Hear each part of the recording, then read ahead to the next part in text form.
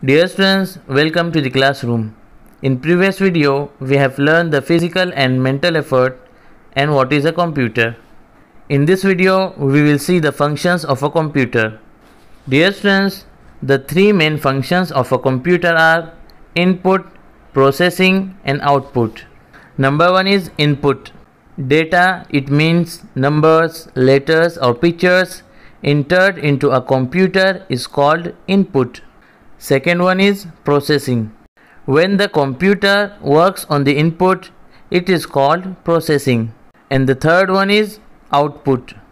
Information given out by a computer after processing the input is called output.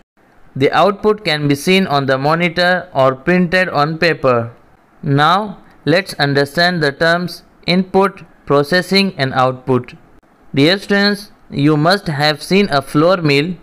In a flour mill, food grains are put into the big vessel at the top. They are crushed in the grinder and flour comes out from the opening at the bottom of the flour mill. So dear students, food grains put into the big vessel are input. The crushing or grinding of the food grains into flour is called processing. The flour which comes out of the flour mill is the output. Dear students, in a computer, input, processing and output can be explained as input data entered into a computer is called input.